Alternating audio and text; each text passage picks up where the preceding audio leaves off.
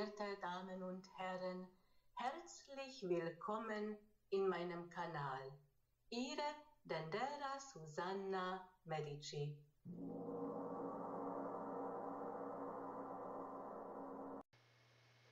Wie beeinflusst die kosmische Energie unseren heutigen Tag am 4. März 2018? Heute ist wieder ein Schicksalstag. Was meine ich damit? Wir Menschen haben Wünsche, Sehnsüchte, Träume, Visionen. Es gibt Menschen, die daran glauben, die setzen das als Ziel, die lassen sich auch nicht davon ablenken, sondern sie bleiben konzentriert und sie erreichen auch ihren Ziele, weil sie glauben fest daran. Diese Menschen sind außergewöhnlich mit großem Erfolg. Sie leben ihren Träume. Wir haben alle die Möglichkeit, unsere Visionen, unsere Träume zu verwirklichen. Natürlich soll das realistisch sein. Und es gibt Tage, wo wir ganz nah sind, wo wir daran wirklich glauben auch, weil wir haben das Gefühl, ja, es geht bald zum Erfüllung. Und es gibt auch Tage, wo wir aufgeben, weil wir sagen, oh, das ist so unerreichbar. Und man schämt sich auch, ein Träumer zu sein. Und es gibt wieder Tage, wie die heutigen Tag auch, wo sehr entscheidend ist, weil hier treffen wir Entscheidungen. Es muss vielleicht noch nicht in Tat umgesetzt werden, aber die Einstellung in solchen Tagen wie die heutige entscheidenden Tag, entscheiden wir uns, glauben wir weiterhin daran, unsere Träume zu erreichen, unsere Wünsche zu erreichen, oder werft uns etwas zurück. Die Gefahr ist da, dass wir das zurückwerfen. Warum? Weil wir fangen an zum Zweifeln daran. Oder wir haben Einflüsse von außen, Gespräche, und wir lassen uns beeinflussen und anderen sagen, ah ja, träum nicht so viel oder bewahre diese Arbeit, das ist deine Sicherheit und was du vorhast, das ist so ein Quatsch. Oder anderen sagen, ja, du glaubst, dass er zurückkommt, dass diese Liebe zur Erfüllung geht. Der hat doch lange nicht geschrieben. Was träumst du vor dich hin? Und in dem Moment sind die entscheidenden Momente, weil dieser Traum platzt auf einmal, wirft uns zurück, weil wir aufgeben. Und genau in solchen Tagen wie die heutigen Schicksalstag dürfen wir nicht aufgeben, sonst erreichen wir nicht unsere Ziele. Also wichtig ist, auf unserem Träume, auf unserem Vision glauben, fest daran glauben und nicht aufgeben und auch nicht ablenken oder ablenken lassen und auch nicht zweifeln. Jetzt schauen wir an, welche Einflüsse kommen von Sternen. Sonne, befindet sich in Tierkreiszeichen Fischen und steht in Konjunktion zu Neptun. Und Neptun ist der Planet der Träume und die Visionen. Bei Neptun ist aber alles so undurchschaubar, sehr mystisch. Natürlich kann das bedeuten, dass wir haben gerade einen wichtigen Traum bekommen und dieser Traum hilft uns, Klarheit zu bekommen. Die Klarheit ist die Sonne und der Traum ist Neptunenergie. Wenn Sie Fragen haben über Träume, ich kann sehr gut Träume deuten. Und ich mache das mit Leidenschaft. Also schreiben Sie mir Ihre Traum und ich deute Ihre Träume. Natürlich hier muss auch unterscheiden, um welchen Traum das handelt, weil unserem Gehirn bearbeitet die täglichen Einflüsse im Schlaf.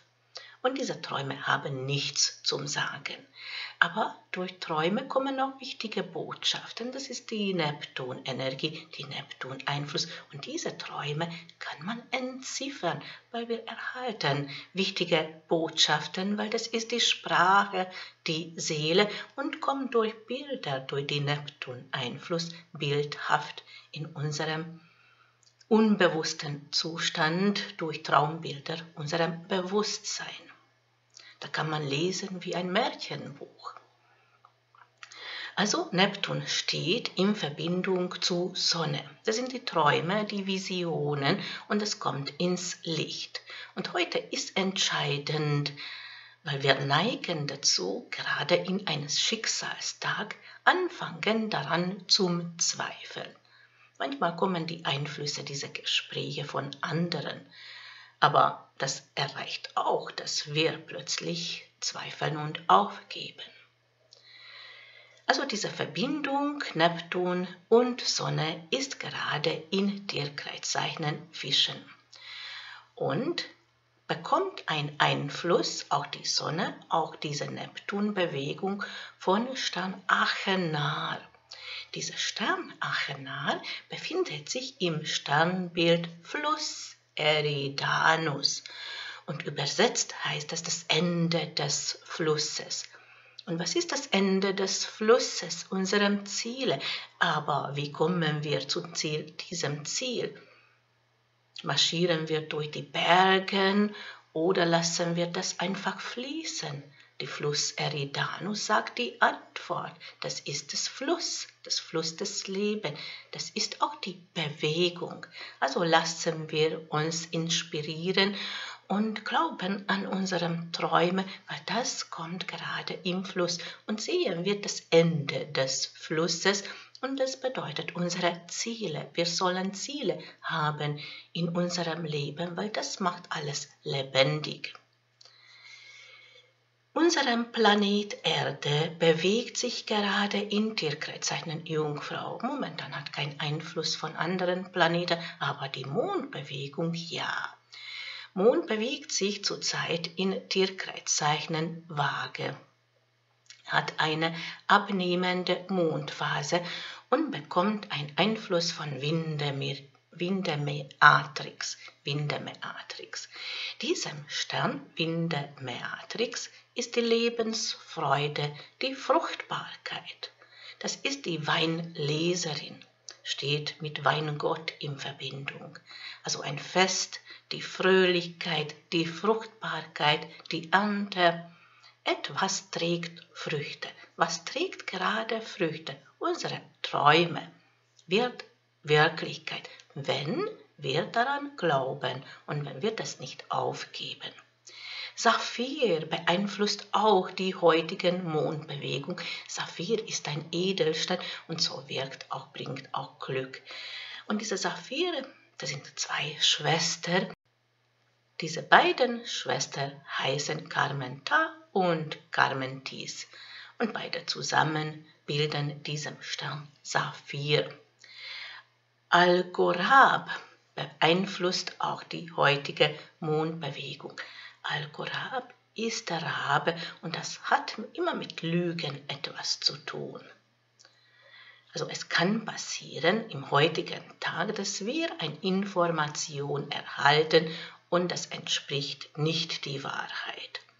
Das vermittelt Al-Gorab. Natürlich, Sonne und Neptun hat nicht nur mit Träumen und Visionen etwas zu tun, sondern kann auch ein Hinweis sein, dass etwas undurchschaubar ist. Und wir möchten aber sehen, wir möchten die Wahrheit wissen. Also das hat heute mit der Wahrheitssuche etwas zu tun, diese Sonne-Neptun-Verbindung und dazu auch Algorab, was ein Hinweis ist, wir sollen in Wahrheit bleiben. Seginus beeinflusst auch die heutigen Mondbewegung und das ist die Bärenhüter, ein Stern von Sternbild Bärenhüter, also bewacht, behütet etwas. Also wir haben auch Schutz im heutigen Tag. Bei Sonnenaufgang geht die Tierkreiszeichen Fischen in Osthorizont auf und im gleichen Moment geht die Tierkreiszeichen Jungfrau in Westhorizont unter.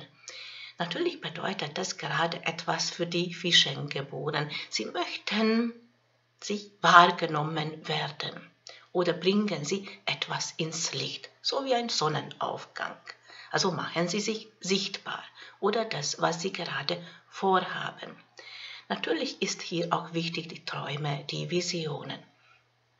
Die Fischengeborenen neigen auch dazu, anfangen zum Zweifeln, aber im Vertrauen bleiben, weil dadurch kommt etwas im Fluss. Eine Nachricht, was die Liebe betrifft, nähert sich etwas. Es trifft vielleicht nicht im heutigen Tag, aber nähert sich etwas und das hat mit Liebe, Partnerschaft etwas zu tun. Die Tierkreiszeichen Wiedergeborenen haben das Gefühl momentan, es geht nichts voran. Wie können Sie das verbessern, wenn Sie in innerer Ruhe, im inneren Gleichgewicht bleiben? Weil daran liegt die Kraft. Und dann kommt auch die Begeisterung, kommt auch etwas in Bewegung. Die Tierkreiszeichen Stiergeborenen ist wichtig, die Werte, die Wertschätzungen und die Finanzen aber nicht nur die Finanzen bringen die Stiergeborenen gerade in Ordnung, sondern die haben auch Glück in die Liebe, Partnerschaft. Die Tierkreiszeichen Zwillingsgeborenen haben die Leichtigkeit und die Begeisterung. Sie haben auch die Motivation, aktiv zu werden und etwas in Bewegung setzen. Aber sie sollen auf die Kraft achten, weil das kann zu viel sein und dann fühlen sie sich erschöpft müde, kraftlos. Also überlegen, in welche Richtung setzen Sie Ihren Kraft ein. Die Tierkreiszeichen Krebsgeborenen sind auch etwas unsicher im heutigen Tag und gerade bei diesem Schicksalstag sollen wir diese Unsicherheit überwinden, weil daran liegt die ganze Geheimnis, weitermachen, weiter an unserem Ziele glauben. Also wichtig ist für die Krebsgeborenen auch, dass sie auf ihre schöpferische Kraft, auf ihren Ideen vertrauen, weil das können sie auch umsetzen. Also bitte nicht zweifeln daran. Eine gute Nachricht ist auch zum Erwarten. Oder in die Liebe Partnerschaft ist auch eine schöne Zeit bei den Krebsgeborenen. Die Tierkreiszeichen Löwengeborenen sind begeistert und sie haben mehr Klarheit, besonders was die Berufung betrifft. Und sie treffen auch in der nächsten Zeit wichtige Entscheidungen, weil sie möchten etwas beruflich verbessern. Die Tierkreiszeichen Jungfrau geboren ist ein wichtiges Thema, die Liebe, Partnerschaft. Es kann sein, dass alten, verletzten Gefühlen hochkommen und ähm, das verunsichert die Jungfrau Geborenen oder sie warten, bis eine Nachricht kommt oder wie die Gefühl ähm, kommt, also die warten auf etwas, ist aber nicht die richtige Einstellung, weil sie sollen aktiv sein, auf anderen zugehen, Gefühlen zeigen, Gespräche suchen. So kommt es in Harmonie. Bei Tierkreiszeichen Wagengeborenen bewegt sich einiges.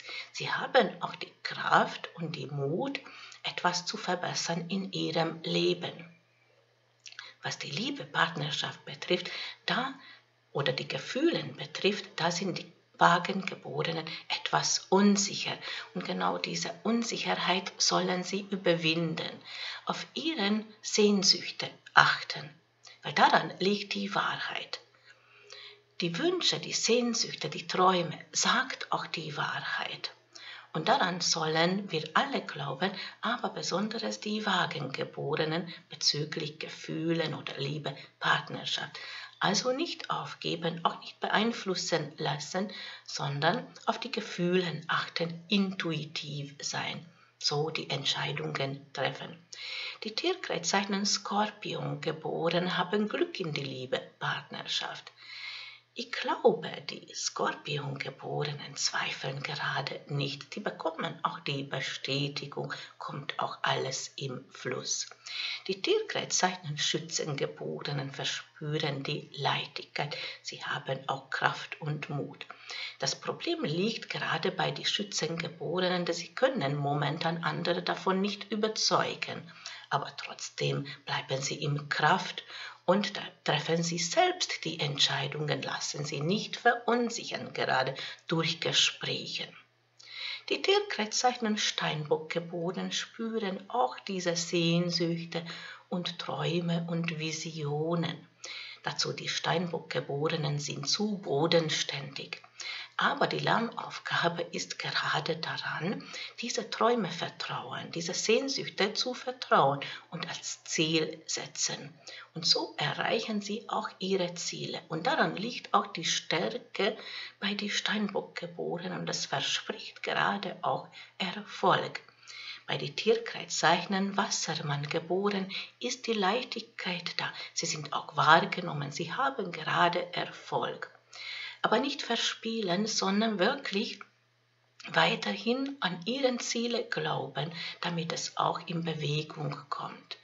Und das war mein Tageshoroskop. Ich bedanke mich für das Zuschauen. Mein Name ist Dendera Susanna Medici.